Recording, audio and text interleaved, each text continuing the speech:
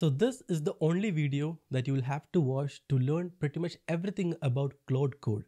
So if you ask me which is your favorite AI coding tool, in the top 3 I'll definitely include Claude Code and it is one of the best and most capable AI coding tools out there.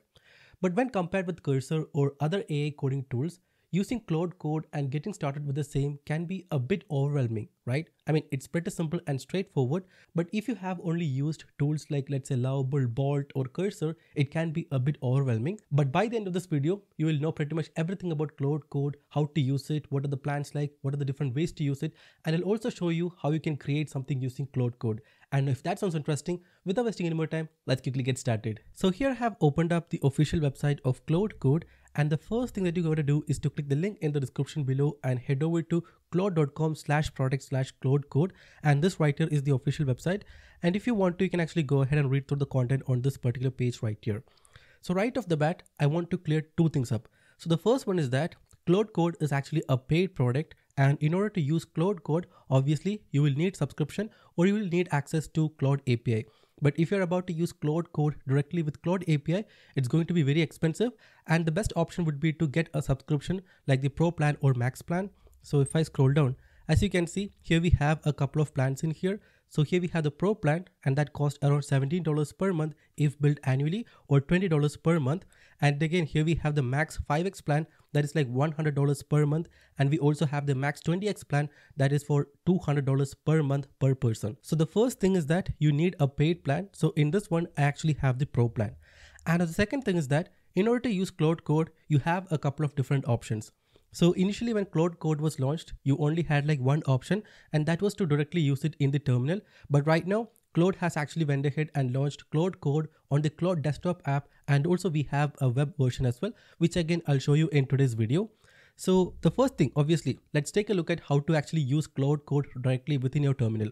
All you have to do is to copy this particular command right here. So I can copy the same and then open terminal and then paste it in here or you can click on this documentation option right here and after that you can find the commands for installing Claude Code on macOS or Windows via Homebrew, Windows and even NPM.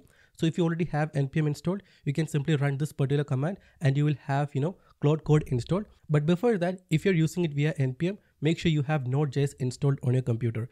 And in my case, I have already ran this particular command and I have installed Claude Code. So what I'll do is I'll simply go ahead and open terminal and then I'll go ahead and open a folder. So here I have created a dummy folder called as uh, converter.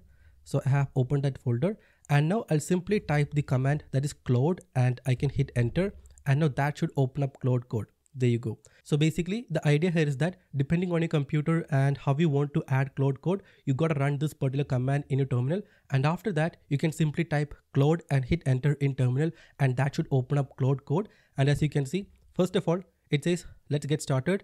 And it is asking us to select the theme. So here we have a couple of different themes.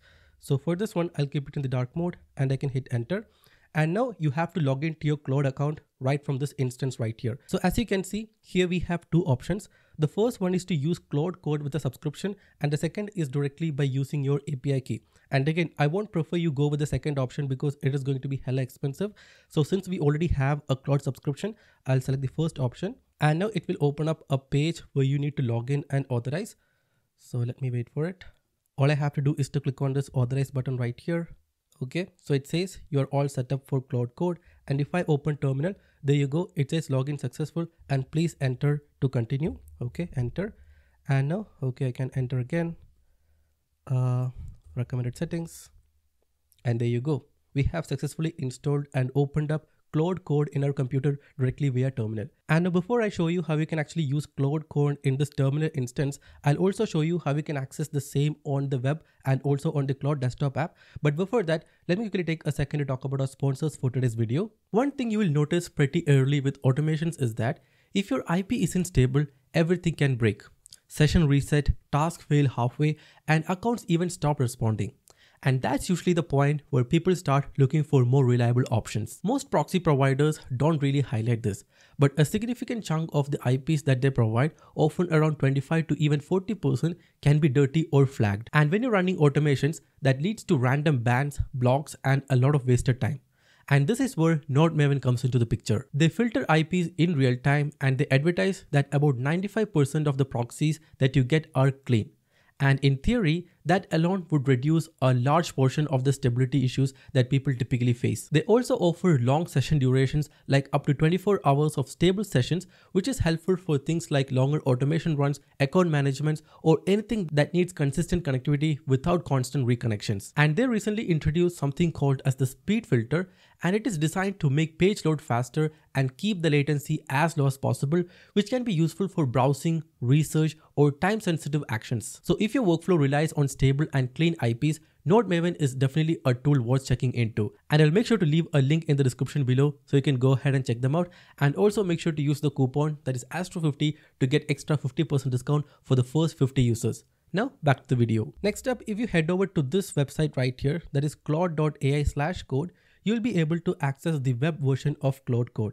And yes, you can also directly use Claude Code on the web and for that, all you have to do is to log into your Claude account and then head over to claude.ai slash code and you land on a page something like this. And first of all, I just want to make something clear. This is very different from using Claude directly or let's say locally on your computer.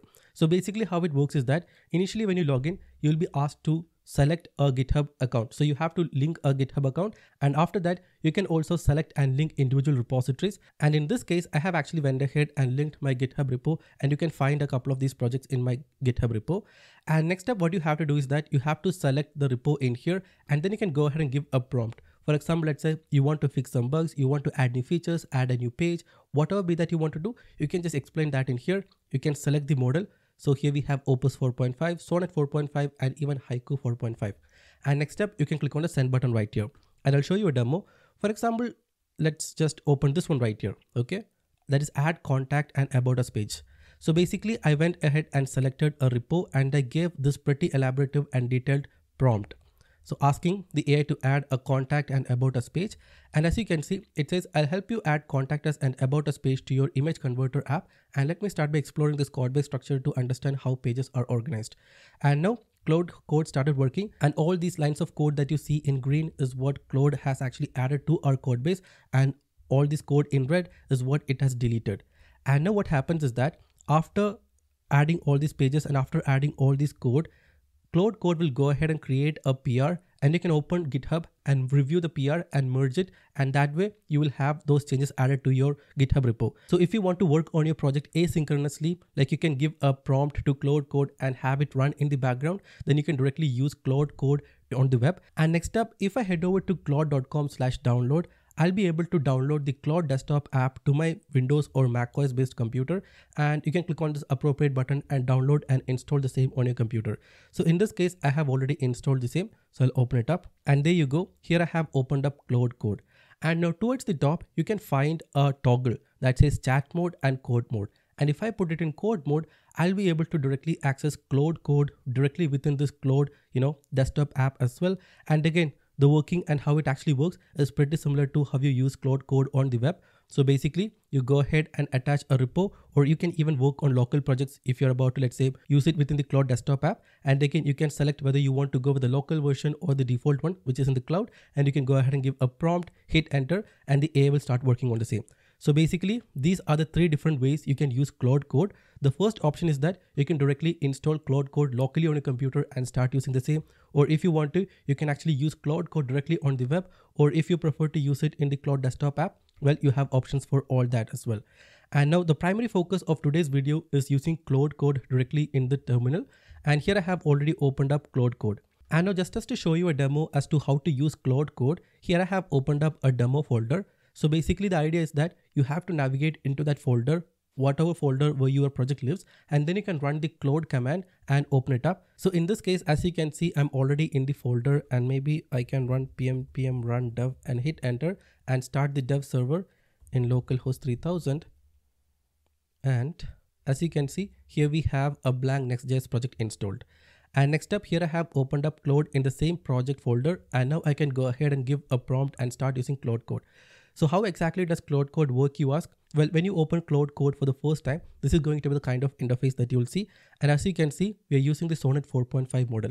And next up, to code something or to ask the AI to do something, all I have to do is to give a prompt in here. For For example, if I type hi and hit enter, there you go. It says, hello, I'm Claude Code here to help you with software engineering tasks. How can I assist you today? So basically the idea is that whatever be that feature that you want to add, the uh, bug that you want to fix or pages that you want to add, or just about whatever be that you want to do, well, you go ahead and give a prompt in here. Before I actually go ahead and start giving a prompt to build, let's say a sample website, if I go ahead and type this slash simple, I'll be able to find a couple of different options. For example, you can go ahead and add a new working directory, manage agents, clear it, compact uh, uh, conversations. You can configure the theme add context. You can exit out of it. You can export it. You can find all the you know prompts. You can manage id integrations in it. You can log in log out add mcp manage mcp you can configure the memory you can select the model that you want to use. You have a bunch of different options in here. And again if i'm about to explain all of this the video will be extremely long but you can go ahead and explore it by yourself. For example let's say i want to switch the model that i want to use.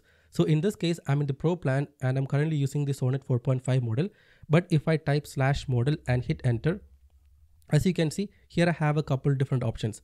For example let's say i want to move and start using the opus model and right now, as you can see, Sonnet 4.5 is what we are using. So I can simply select the Opus one and I can hit enter.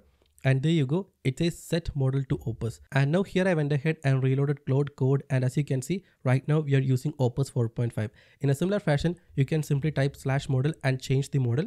And again, if you want to add MCP servers, you can simply type slash MCP, hit enter, and you can configure that in here. So right now I have like two of them added. That is Cypher and Hawk, which needs to be configured by the way.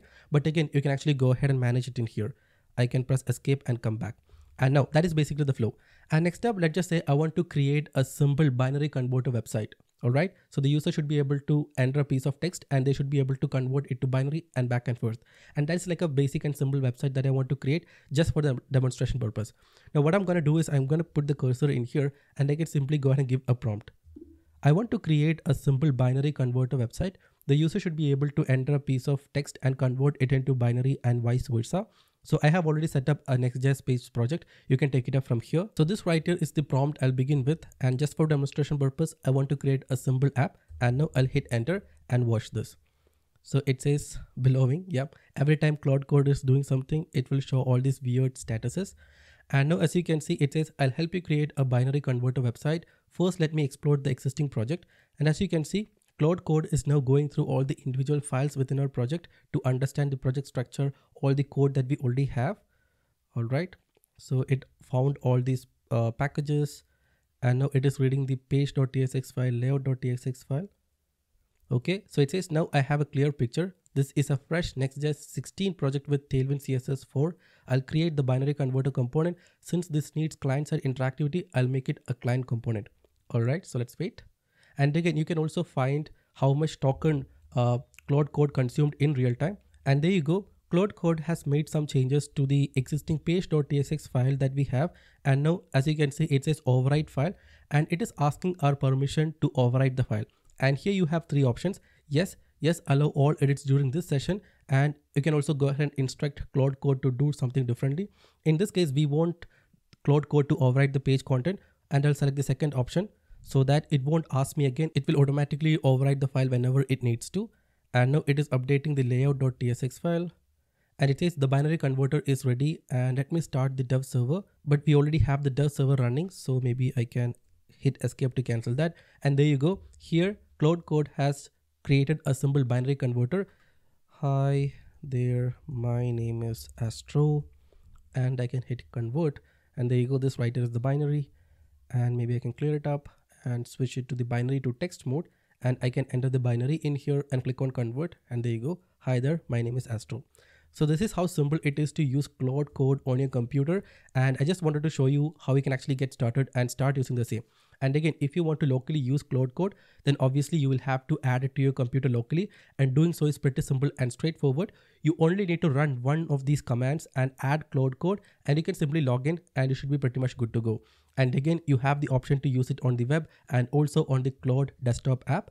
And now, depending on what exactly you are trying to achieve, you can go ahead and give follow-up prompts or you can ask the AI agent whatever you want to do and get going from there. You can spin up new sub agents, you can add MCPs tools, you can do a whole bunch of different stuff. And again, you can take your time and explore Claude Code. And this is how easy it is to get started with the same. Know that's pretty much all I wanted to show you in today's video. I hope you guys found this video useful. If yes, make sure to subscribe and I'll see you in the next one.